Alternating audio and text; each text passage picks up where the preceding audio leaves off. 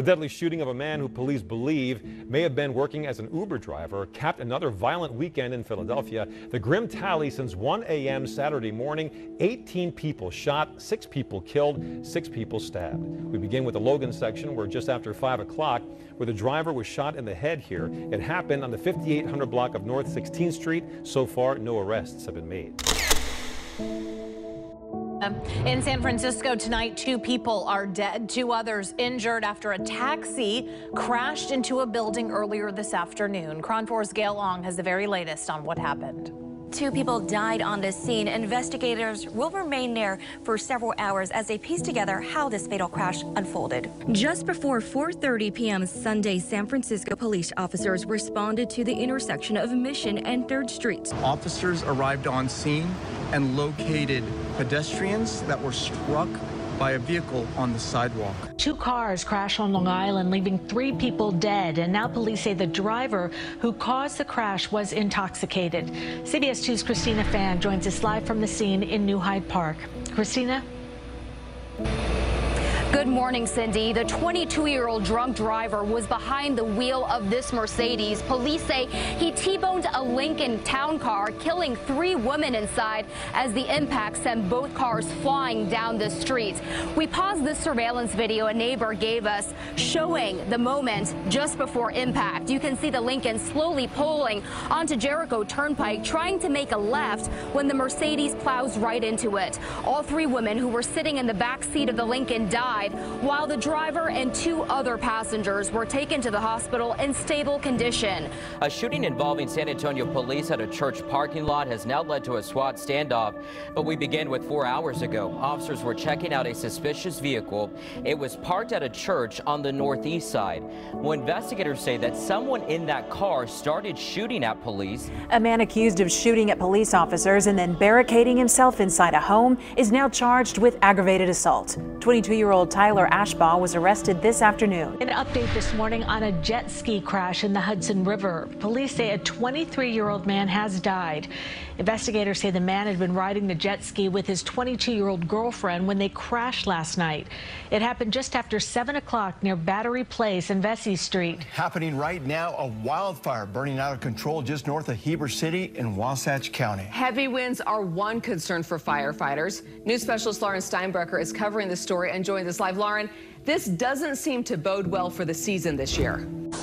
A developing story this evening, a professional Bay Area cyclist shot and killed in Austin, Texas. And now U.S. Marshals are searching for her suspected killer. Investigators say this all may have been the result of a love triangle. KRON 4's Gail Long joining us live now from the newsroom with those details. Gail, an interesting this story morning, here. Texas authorities urgently searching for a suspect who they say killed a world-class cyclist after a love triangle took a deadly turn. The U.S. Marshal put out a wanted poster for Caitlin Armstrong and police charging her with homicide in the killing of fellow cyclist Moriah Wilson after they say they uncovered she had a fling with her boyfriend, cyclist and Red Bull athlete Colin Strickland. Surveillance video showing police flying through an intersection in pursuit of a carjacking suspect. That chase leaving a trail of wrecked vehicles and injuries. When this was all over, a police officer and two civilians in the wrong place at the wrong time were injured.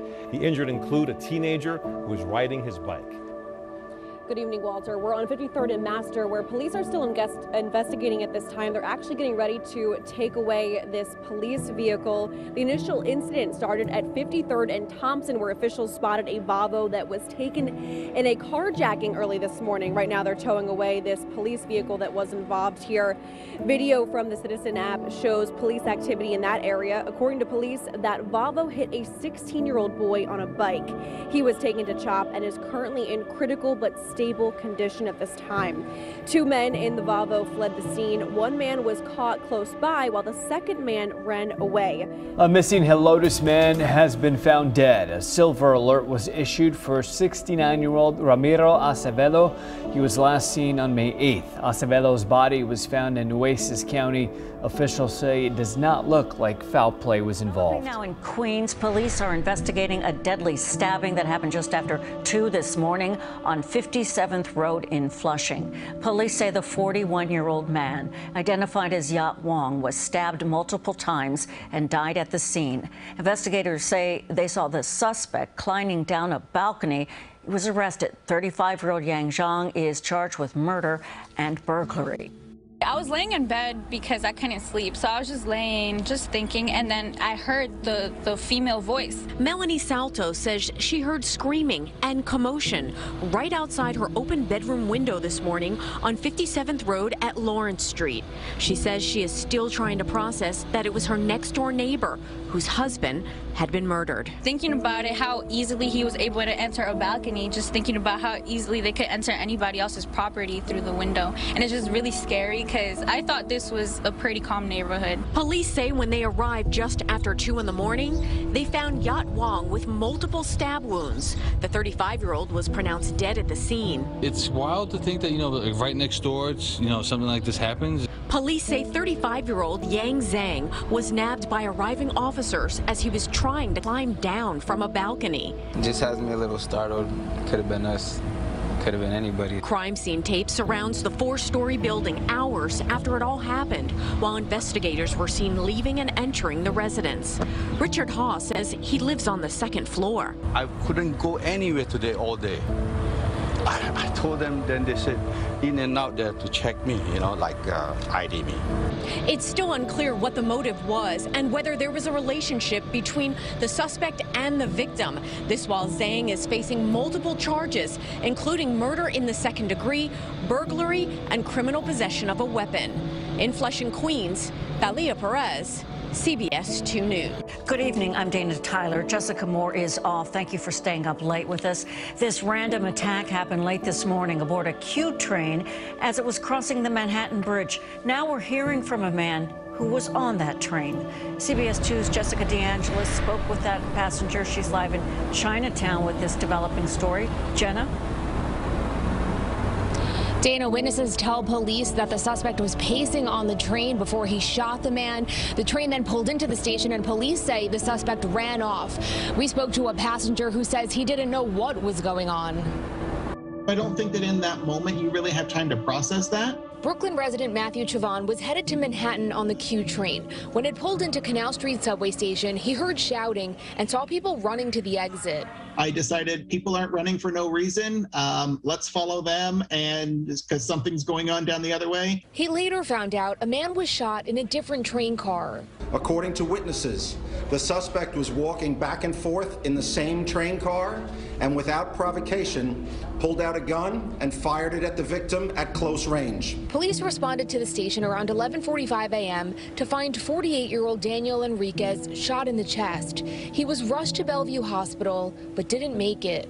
What we've gotten from the witnesses, there is no prior contact between the victim and the suspect. The NYPD says it's pushing more officers into the subway system.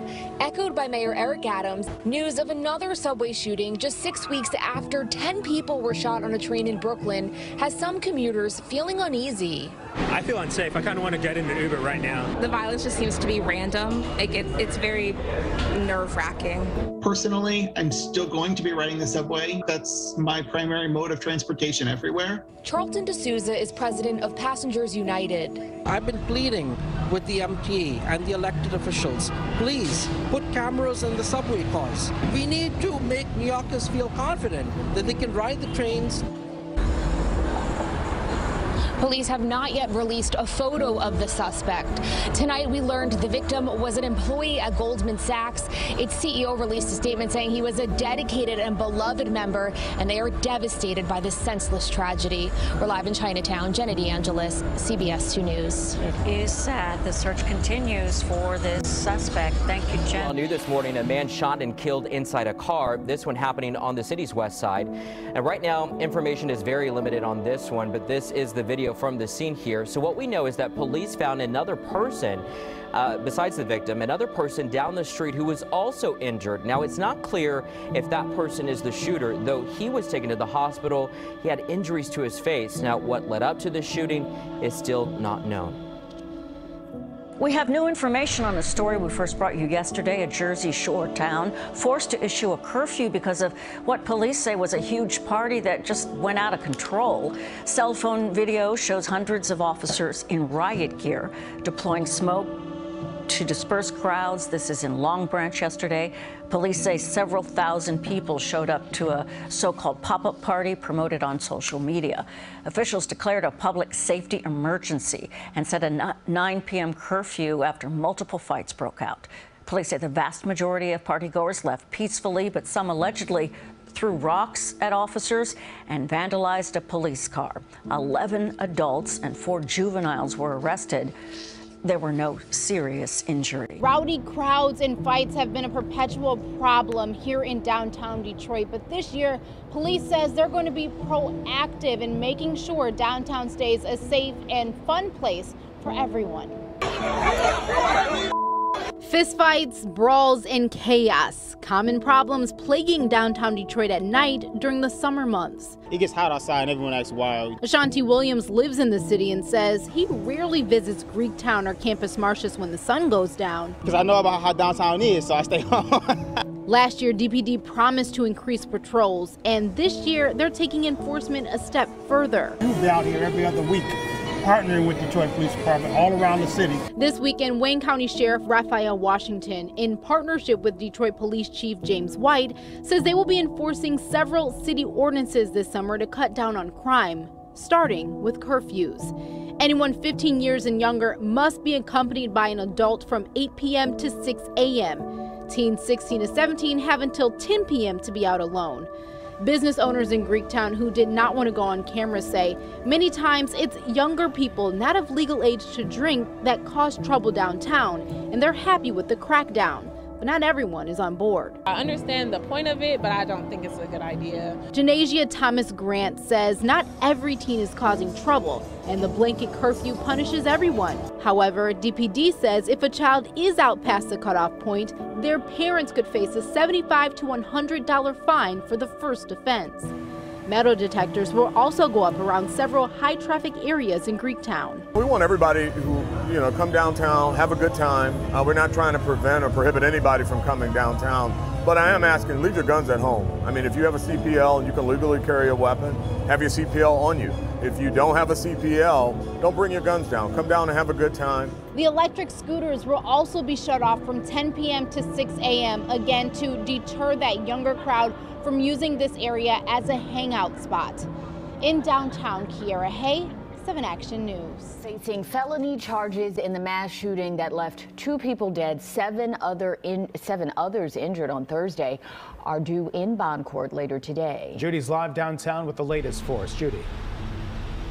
Good morning. Chicago police arrested both men shortly after the shooting here at Chicago and State. One of them, the suspected triggerman, according to Chicago police, ran into that red line station right on the corner. Two people were killed, seven people were wounded late Thursday night.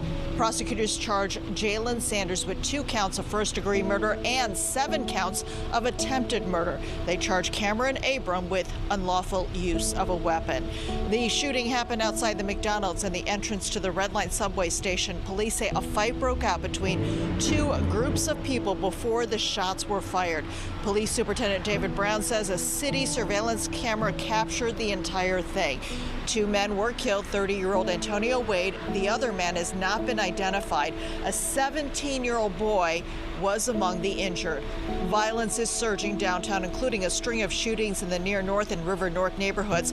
Cook County Sheriff's Police recently set up a River North command post. Mayor Lori Lightfoot asked CPD to set up a post at Chicago and State. Suspect Jalen Sanders was already facing weapons charges in connection with an unrelated case. Uh, he was released on bond, which was later revoked when he did not show up in court. Now, Sanders and the other suspect in this incident at Chicago and State are scheduled to appear in court this afternoon at Chicago and State on the near north side. Judy Wang, WGN News. Child tested positive for meth after police found the drug mixed with candy in a candy dish at a home in Jefferson County. The Jefferson County Sheriff's Office confirmed that the father, Malcolm Smith, is in custody in Jefferson County Jail. Fox News' Zara Barker talked with the police about the alleged crime. A three year old was hospitalized after testing positive to methamphetamine. Festus police say this is one of the extreme cases of children and drugs that they've seen. They also tells me it wears on authorities to have to go and investigate cases like this. According to Festus police, the children's division was notified a child was in the hospital and tested positive for methamphetamine. The children's division and the police department went to the father's home and found a disturbing discovery.